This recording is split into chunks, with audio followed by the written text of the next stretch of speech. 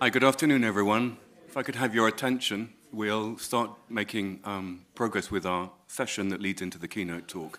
Uh, it's my very great pleasure to be part of this conference. My name is Dr. Simon O'Meara, and I'm a colleague and friend of Hamid. Hamid um, deserves more than just rounds of applause for what he's achieved in bringing us all together in this conference. Uh, this has been amazing. The intellectual level of conversation that we've been having in the, as a result of having 30 minutes to become hedgehogs in each session is uh, really, really wonderful. And I know I can't, uh, I know I, I can barely imagine just how hard Hamid has had to work to make all this happen. So, again, Hamid, thank you for doing everything for all of us here. It's very, very much appreciated. Um, I, I, have one announcement, and that is um, our, we, we, were due to have two speakers for this session, and unfortunately, one of the speakers had to pull out uh, for, for, because of an emergency. Therefore, our speaker this afternoon for this last session in session two is Dr. Charlotte Bank, who is uh, an acting professor at LMU in Munich. And her biography is available for you to read in the booklet. And following Hamid's instructions to chairs, um, I'm going to ask you please to look there so that uh, Charlotte can have as much time as she needs for her lecture, and we can have as much time as we need for our questions. So, Charlotte, thank you very much indeed, and um, we look forward to your talk.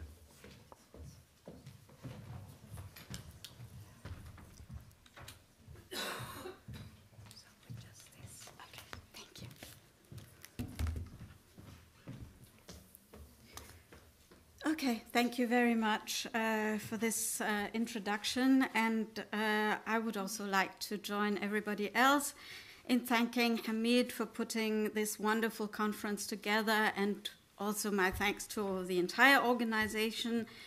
Um, it's a great pleasure to be here and uh, to share uh, my research with you.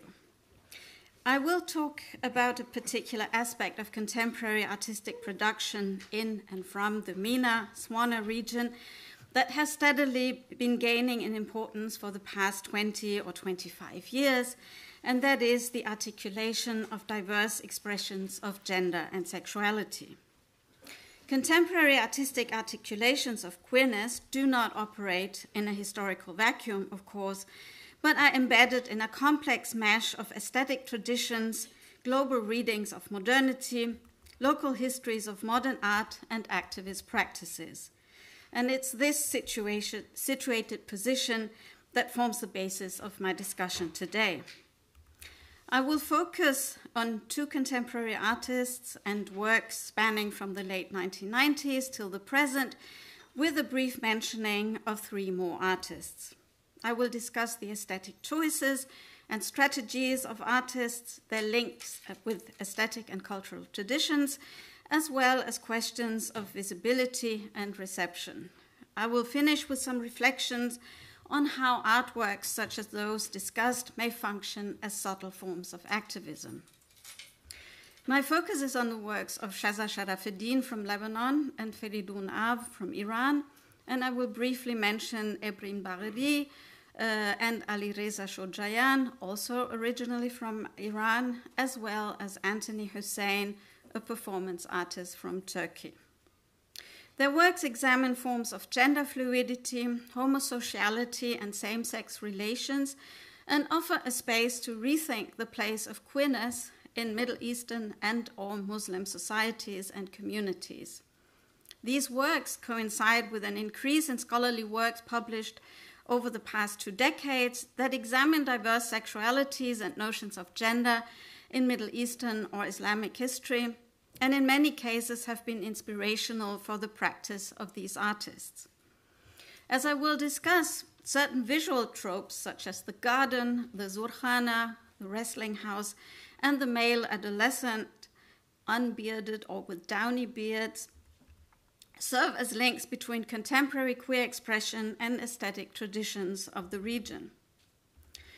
Before I proceed, a few words about terminology might be in order. I'm discussing contemporary artworks that refer to or create links with pre modern or early modern practices. The use of terms such as homosexuality, queerness, or even sexuality, all of them modern terms, might be somewhat problematic when used outside a modern context, and they use a subject to frequent scholarly debates. So while the artworks I'm going to discuss here might allow us to situate contemporary notions of diverse expressions of gender and sexuality in the historical texture of Muslim societies. As scholars, we should, uh, we should be cautious about speaking of pre modern queerness or homosexuality without taking the firmly modern origin of these terms into account. Artists have a different kind of freedom to use these terms as they see fit, uh, of course. While keeping this in mind, I will now move forward to the topic of my talk. Let me first turn to examples of classical Islamic miniature painting that are of importance to my topic and then proceed to the contemporary works. In a painting by the Mughal painter Govardhan, we see two men standing opposite each other in a garden. They seem to be on intimate and friendly terms, and the one who appears to be slightly younger f- throws flowers onto the feet of his older companion. The painting, Saadi in the Rose Garden, is the opening illustration of an edition of the 13th century Persian poet Saadi's Gulistan, Rose Garden, and depicts an incident in the life of the poet in which he recalls being persuaded by, a friend, by his friend and lover to spend a night in a garden in order to refresh his thoughts and regain his energy.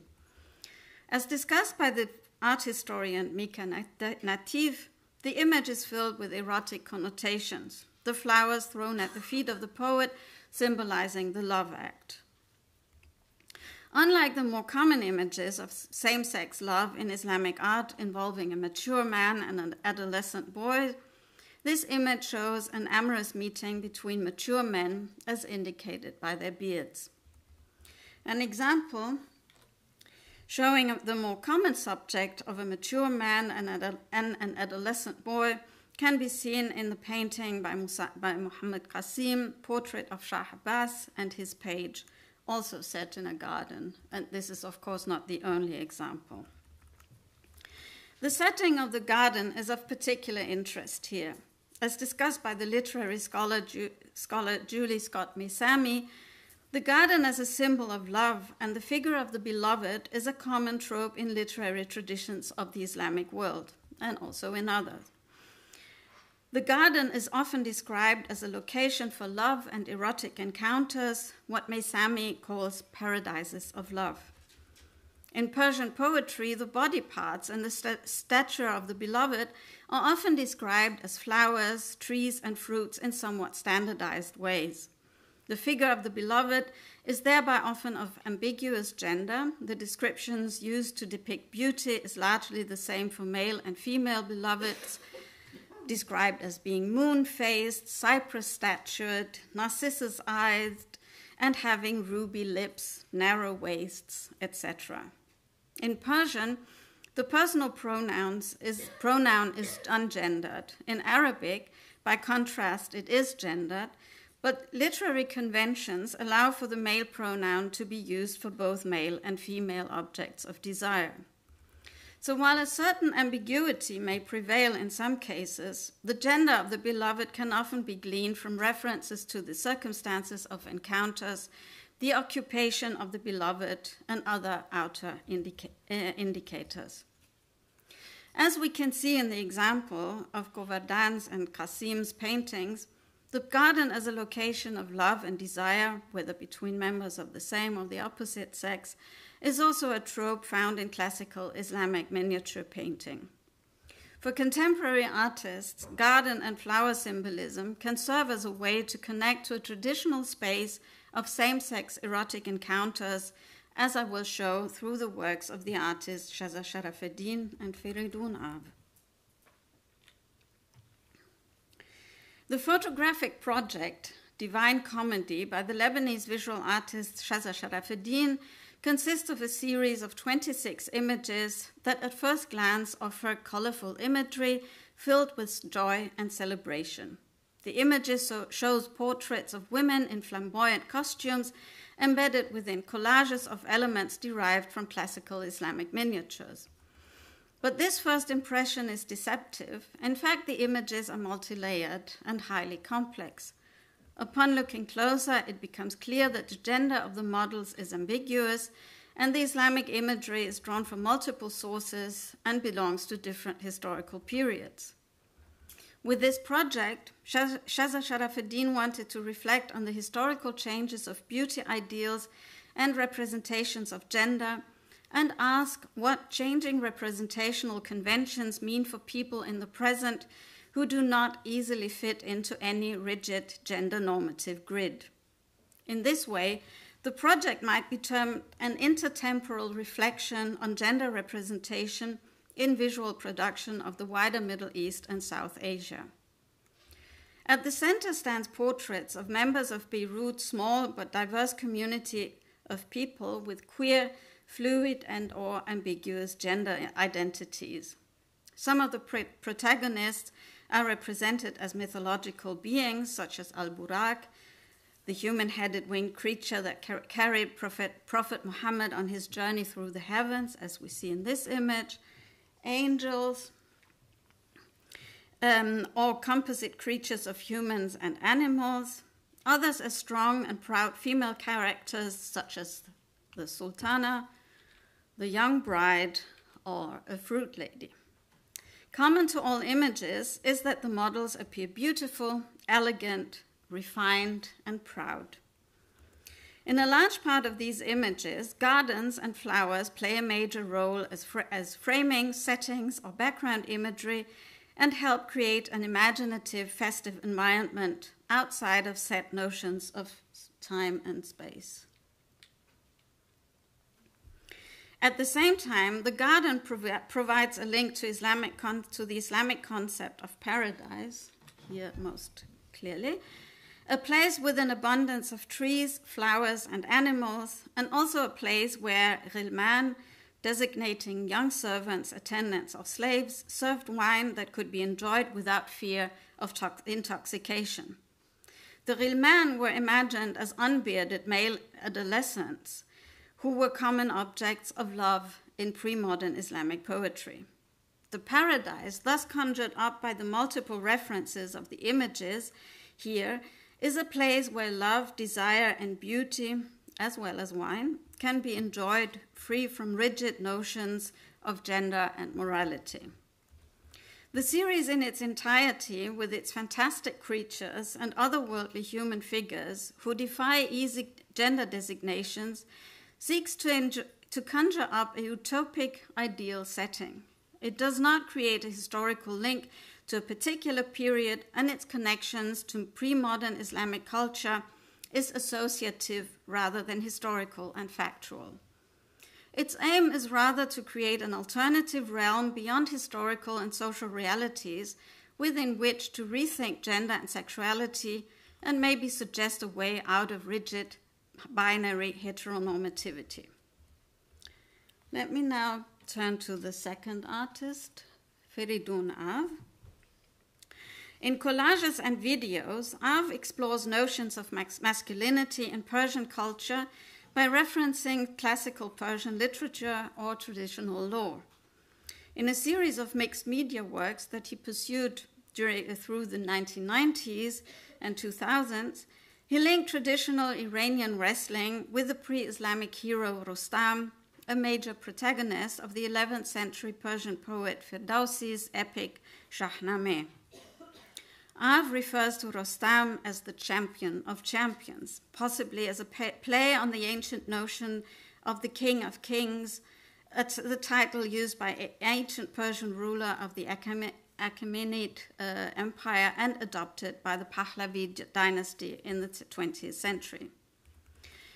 In these works, the figure of the contemporary wrestler becomes a, pro- a location to problematize notions of masculinity and virility.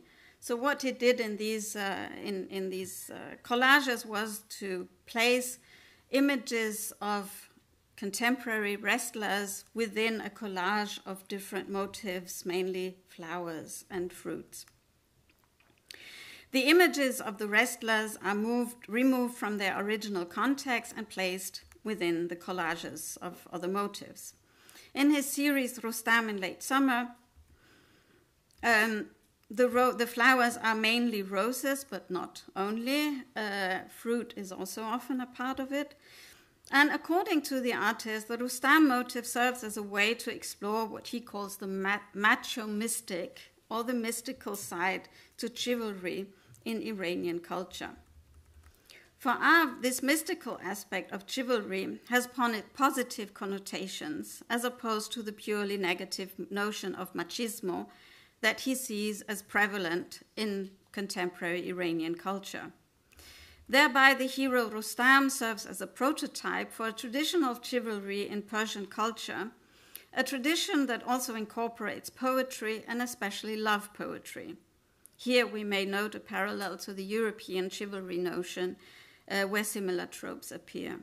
The abundance of roses also leads us to another aspect, namely the rose as a metaphor for the beloved and his her features as, is, as it often appears in poetry.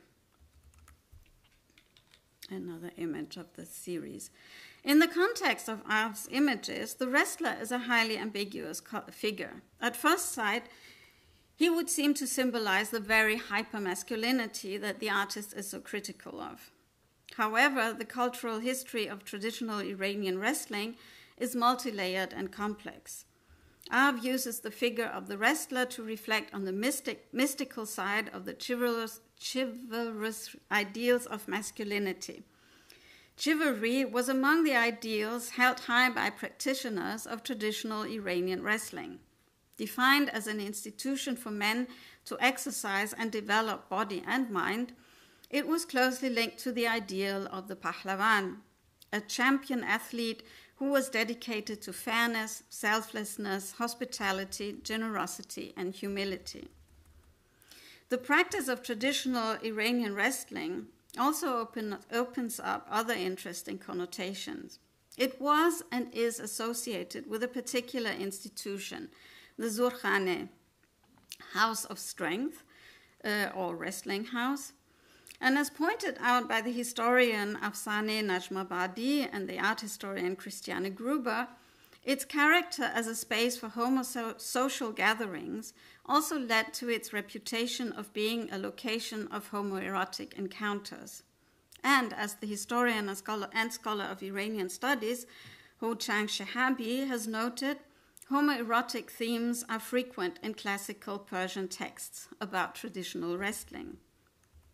So when Ferydoun Ave is referring to the cultural space of traditional Iranian wrestling, he opens up a possibility to connect to a traditional space of alternative sexualities and remind viewers that in contrast to contemporary Iran, traditional culture allowed for, or at least tolerated, spaces for same sex erotic encounters between men. This connection is stressed by the flowers as indicators of gardens another historical space of same sex love and erotic encounters. Ferydoun Ave's series thus combines two sets of references to such spaces the Zurkhane and the garden.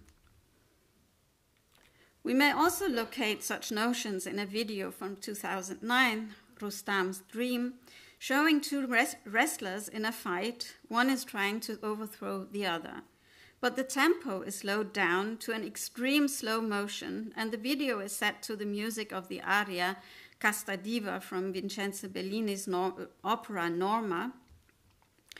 And the effect is the effect of this slowing down together with this very uh, slow, uh, beautiful mu- music is that the fight seems more like a dance, and the two wrestlers bear more resemblance to lovers caught in an embrace rather than two fighters. If we consider the Rostam series with its, more, with its different connotations, two aspects stands out. As I just mentioned, they combine garden and flower imagery with the institution of tra- traditional Iranian wrestlings.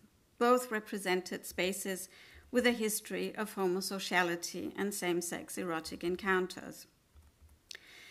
Before I conclude, I would like to briefly mention three other artists in whose works we also find allusions to the garden, the Zurkhane, and the third of the visual tropes I mentioned at the beginning of my talk, the unbearded or downy bearded male adolescent.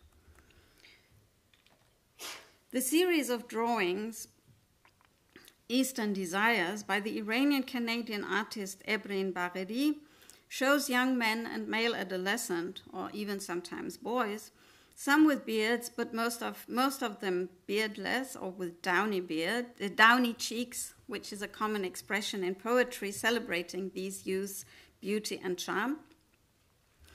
These images are replete with subtle allusions to historical homosocial spheres such as the garden and the Zurkhane. For instance, some images shows roosters held by or associate, associated with the boys, in some cases men, um, that may be a reference to cockfighting and betting, which were historically common pastimes of some regulars of the Zurkhane, so called lutis. These were a marginal group of men of questionable reputation who, besides organizing cockfights, uh, also were known to drink, gamble, fight with knives, and being sexually deviant.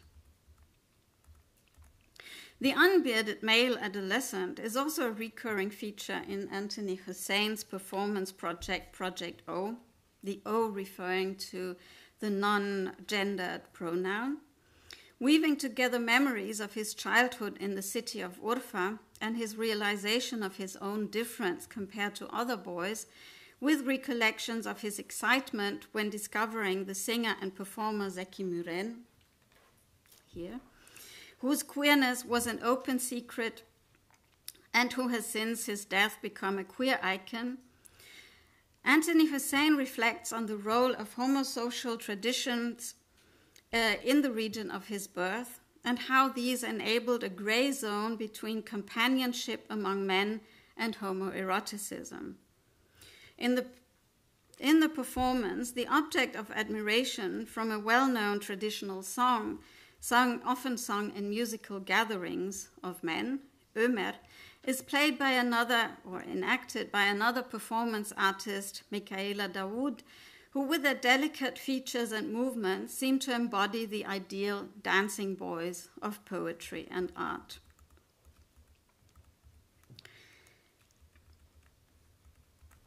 The theme of, um, okay, so let me just move on. Yeah, another example of uh, Zeki Müren as a queer icon, which is also part of uh, Anthony Hussein's performance, is a work um, by another performance and visual artist, Cihangir Gümüş Türkmen, Mürenka, where he references and offers his um, homage to the, to the performer by rep- reproducing one of his iconic uh, stage boots.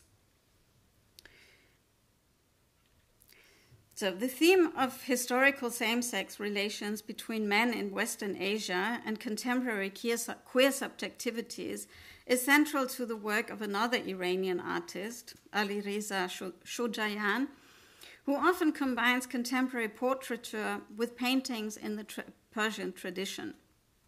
Thereby, he draws on the rich tradition of Persian legends, replete with fantastic and, gen- and gender ambiguous creatures, to create images, Im- uh, to create imaginary spaces of fluid expressions of gender and sexuality, while also offering a critique of current ideals of masculinity as they are dominant in Iran. In this critique, his work parallels that of Ferydoun Ave and other Iranian artists and he also refers to the figure of Rustam. However, for Shojaian, he is not a role model, but rather the false hero that needs to be overcome. In an interview, the artist stressed with a smile that he doesn't want him killed, just subdued. And in the epic, and as in the epic, the demons are useful for this overcoming. So for demon, demons are not inherently evil beings, but rather allies in overcoming patriarchy and heteronormativity. So, except for Ali Reza Shojaian and Anthony Hussein, the artists discussed here do not see themselves as activists for queer rights. All artists move within the circuit of global art of the global art world. They exhibit at biennales, large curated exhibitions, and gallery spaces, and their works are found in private and public collections. And yet, their work retain an activist stance in the sense that they represent a reality that is often sidelined or even criminalized in their countries of origin. For practitioners of, and theorists of critical and socially engaged art, art is seen as a powerful tool to articulate social and political concerns and to advocate for change in the status quo. In the words of the artist and theorist Dan S. Wang, to imagine that, I quote, a world with different social arrangements, behaviors, or both is possible. End of quote. In a climate where social conservatism might place restrictions on outward activism for queer rights, artworks that make use of ephemeral ways to refer to spaces of diverse gender identities, sexualities, and same sex practices, as discussed here, may offer a way out of this dilemma. The historical dimension of the works allows us to situate contemporary queer identities within the cultural fabric of the region and of Muslim society, rather than as foreign Western imports, as is often the case in mainstream debates and media in the region. The artworks ask if Middle Eastern or Islamic history has witnessed different notions of gender than those considered the norm in the present with its stress on heteronormativity. They thus allow to reconnect to, to reconnect contemporary gender and social and sexual diversity with Middle Eastern and Islamic cultural heritage, and thereby counter the notion that these constitute imported phenomena.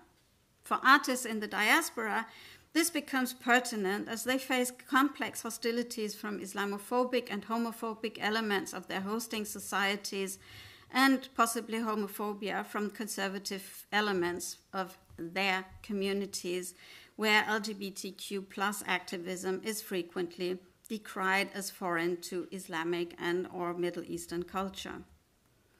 By developing a cross temporal dialogue between contemporary and pre and early modern artistic and cultural production, these artists and their works help create what the gender theorists Carolyn Dinshaw and Gayatri Gopinath has referred to as communities across time and new ways of imagining collectivity, respectively. With their work, the artists allow to reimagine contemporary queer subjectivities as belonging to Islamic culture and Muslim society. Recovering this forgotten history was at the center of the exhibition The Third Muslim Queer and Trans Muslim Narratives of Resistance and Resilience, staged in 2018 at the SOMART Cultural Center in San Francisco. In the words of Yas Ahmed, the curator of the exhibition, I quote, We've always been here, and we're just claiming our rightful place within Islam. End of quote. So, with this quote, I would like to thank you for your attention. Charlotte, thank you very much. That was a magnificent presentation on such an important and timely topic. I'm sure there'll be lots of questions, um, so I won't hog the microphone. But could we point out some questions? Yes, please. Whilst, Audrey, are you on the microphone? Thank you.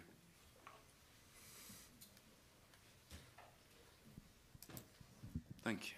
Thank you very much. That was fascinating. I wanted to ask you um, whether you would consider also um, more contemporary popular practices um, as being a connection between some of these artists, or whether that's been considered um, as, as a way to measure um, the queer within Islamic society. In specific, I'm referring to two um, different kinds of ritualistic things. One has to do with the Shia um, Ashura, Muharram, particularly in Iran and Iraq, where there's a lot of um, display of bravado, of, of male nudity, of, of ma many things that are very much you know accepted as part of the practice, but also in terms of all of the posters related to Islamic figures where imagery is forbidden, but in particular comes to my mind the very sexy images that are produced of Imam Hussein.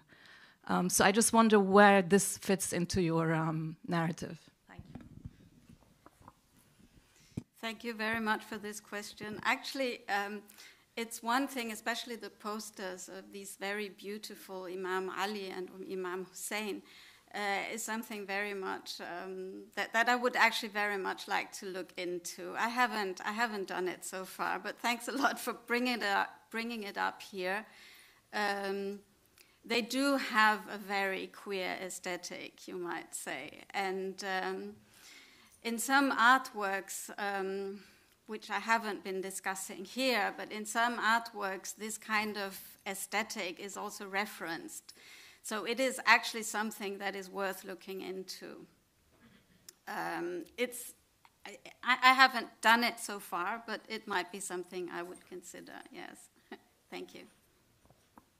The, the, woman at the back, if you can pass it, Audrey, can you run and scuttle over? Thank you.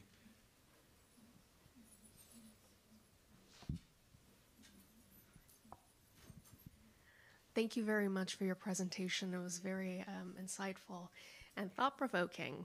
Uh, I'm curious to know if you found that in your examination of um, uh, homosexuality within traditional Iranian literature and art, um, how these works might be informing or guiding uh, the cause of feminism in modern day Iran.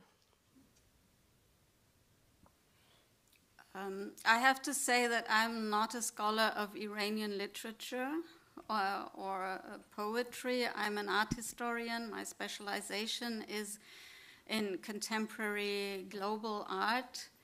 Um, when thinking about the recent feminist movement in, in Iran and also the way it resonated with, uh, with contemporary Iranian artists living in the diaspora, the the subject of queerness comes up every comes up often.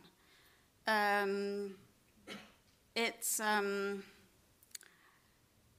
I, I, don't really think I can go so much into the question of of uh, the connection between um, Iranian feminism and and my subject because it's a little bit outside of my research. Thank you.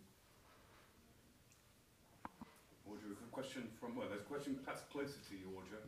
Oh, over there, gentleman on the, just over there, and we'll come to Dris. About seven, hi, Charlotte Malou. Hi. Uh, seven years ago, I was part of a group uh, that was led by a queer translator, and the group had planned to uh, put together a uh, anthology of queer writing from the region and it was a series of meetings and for whatever reason this anthology did not come to fruition. And i met the translator recently and uh, we were discussing uh, the anthology.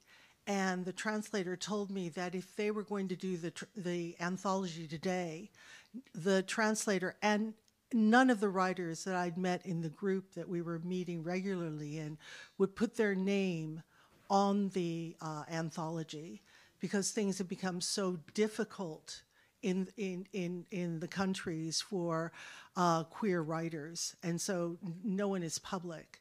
So what I'm curious about is about the contemporary production of uh, by queer artists in the region.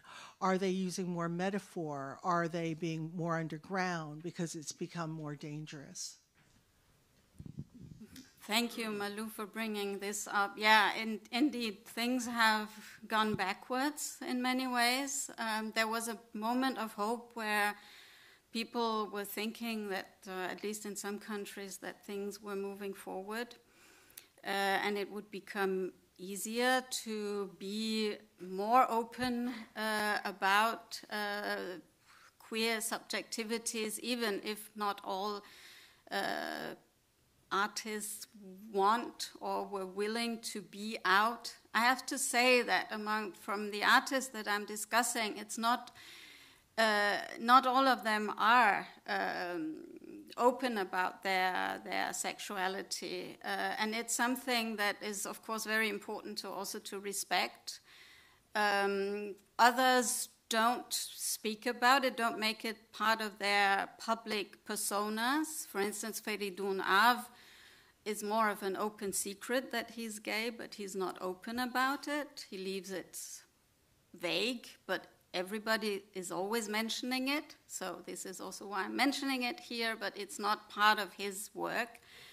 Um, Ali Reza Shojaian is very clearly out as a gay artist, and um, but had to leave Iran and is is now living in France. And it was, and he left Iran via Beirut. And in Beirut, he decided to come out and and bring his his uh, also his his gay artistic production that he had already worked on in, in Iran to really bring it out and and to to show it in exhibitions. For many artists, it's a very it's a complicated um, balancing act of deciding when to talk about what.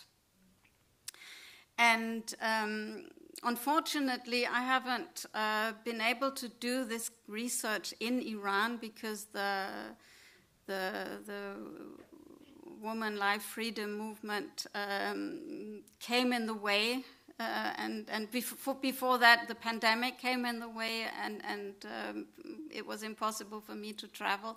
And then afterwards, the security situation uh, was uh, deteriorated.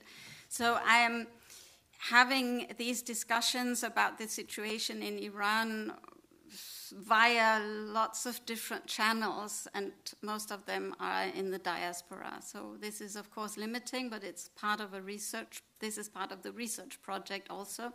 We always have to deal with certain limita- limitations. Now the limitation is in in uh, doing research in Lebanon, which is now uh, being bombed, and um, so in Lebanon, for instance, the situation was quite hopeful um, a few years ago. In from let's say 2016, 17, 18, there was a lot of queer production, and and many artists decided to um, to show their work, and uh, that situation has also deteriorated. So it's something.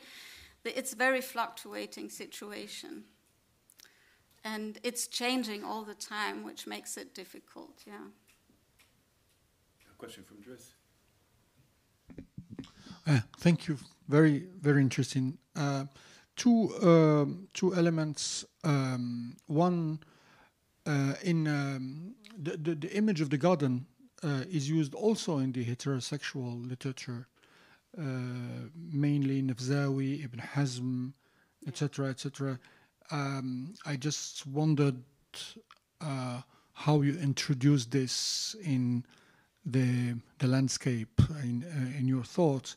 Um, and uh, second one um, is that um, when I saw uh, the the uh, Chaza Sharaf work on Divine Comedy, it resembles a lot the work of a, a Moroccan uh, artist Abbas Saladi who was who was uh, drawing from uh, Fariduddin Al-Attar uh, uh, Conference of Birds and the, the just uh, parallels that could be made.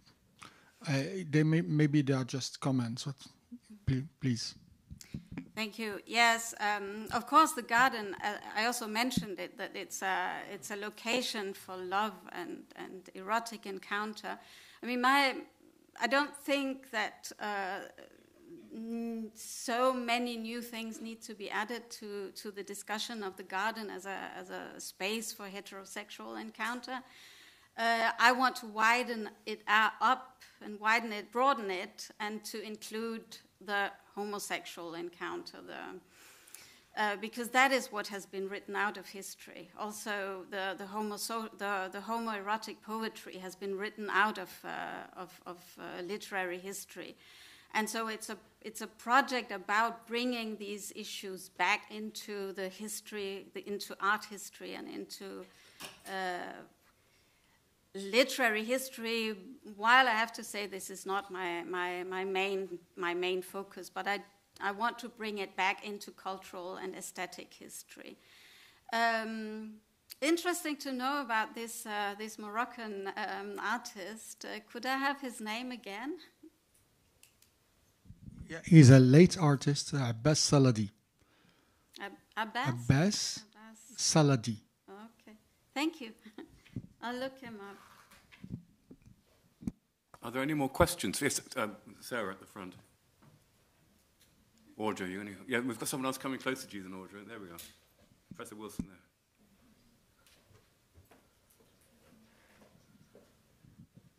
Um, thank you so very much for that. And I just wondered if, um, going back to somebody like André Gide at the turn of the century in France, who had all his homoerotic encounters in North Africa, uh, but then was widely illustrated with his book Fruits of the Earth, Les Nourritures Terrestres, if there's not only that also possibly colonial dimension to the depiction of homosexual love in these, in these areas.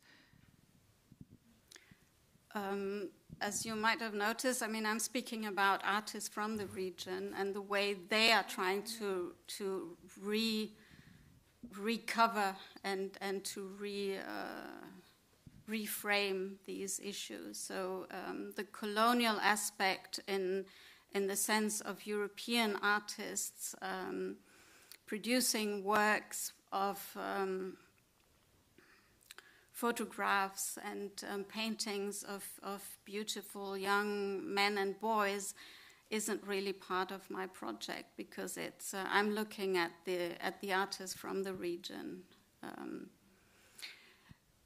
It's an of course you might always I mean images circulate of course. And the way that artists uh, from Iran, from Lebanon, from uh, from North Africa from Egypt, the way they, they develop their motives, of course, might be influenced, uh, whether consciously or unconsciously, uh, through simply from the, the, the experience of, of image, of, of seeing images. Uh, might be the case in some in some cases, uh, not necessarily the artist that I'm working with and it's not necessarily part of my of my research. Thank you. Katia, you're certainly allowed a question. Thanks. Thank you, Charlotte. Just one question. Uh, what is, is there a reason that you haven't included any women artists who address this, such as Laurence Rasti, the Swiss Iranian um, um, artist, and her series, There Are No Homosexuals in Iran? Well, I am showing one one uh, woman artist, Chaza Charafeddine, as a woman. No, apart apart from that, like um, other otherwise, I mean, Sorry. It's. Um, I, I, I am, I mean, uh, this is of course part of a, of a larger research project, and I am also including other women artists. Uh, I wanted here to talk about these, uh, the, the, the, visual tropes that, uh, that come up uh, on a regular basis in, in the works of these artists. And this is a selection of, of the artists that I'm, that I'm working with. Okay, so do you cover Laurence as well in, in the work on, on, you don't find it that relevant? I, I, I don't really find it that relevant, but I'll, I can always try to look her up again. So okay, thank no, no, you I was for, interested yeah. in, thank you.